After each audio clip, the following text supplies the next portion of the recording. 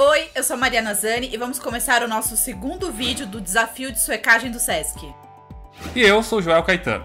E agora vamos falar em como filmar utilizando os recursos que temos disponíveis em casa. O suecado nada mais é que um excelente exercício para se produzir um filme com recurso zero. E depois de anos e anos produzindo curtas de baixo orçamento, chegamos à seguinte conclusão: pensar o filme ao contrário. Ao contrário? Como assim? Do ponto de vista da produção, ou seja, do que temos disponível para realizar esse trabalho, criando a partir desses elementos. Na prática, funciona assim. Quais equipamentos que temos disponíveis? Hoje em dia podemos fazer muita coisa com uma câmera de celular, mas vamos falar mais sobre isso no próximo vídeo. Quais são as pessoas disponíveis para o trabalho?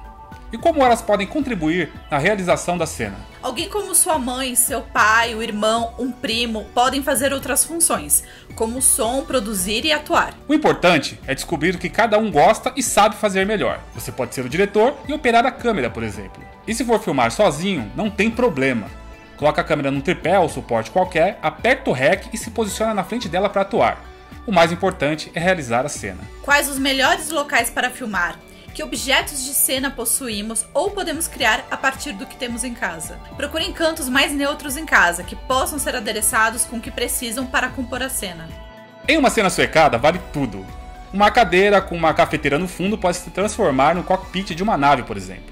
Use tudo que tiver disponível para criar os seus cenários. Tecidos brancos ou escuros ajudam muito nesse momento, pois eles vão ajudar a criar um ambiente neutro para serem preenchidos com elementos que remetam ao filme que você está suecando.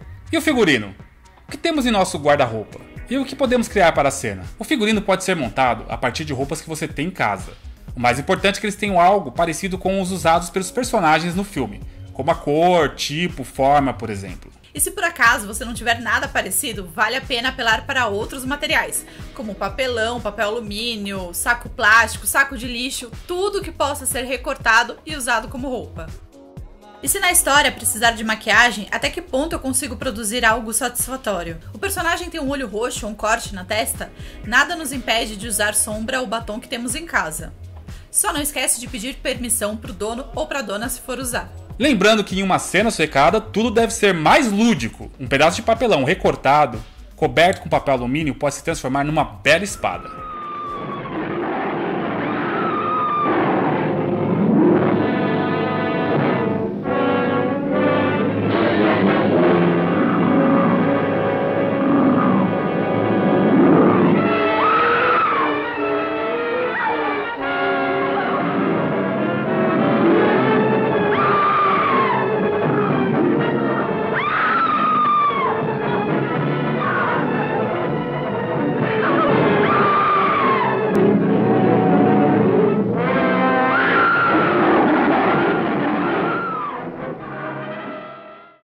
Já estamos esperando seus vídeos. Escolha uma das três cenas de filmes clássicos que selecionamos e não esquece de usar a hashtag Desafio de Suecagem ao postar nas suas redes sociais. Teremos também convidados muito especiais que irão assistir algumas das cenas realizadas por vocês. Esse vídeo com a reação dos convidados será lançado no dia 15 de setembro.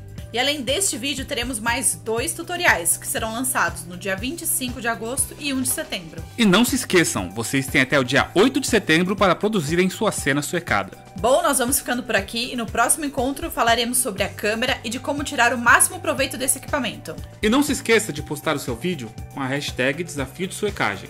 Agradecemos mais uma vez a todos. Até o próximo desafio de suecagem do SESC.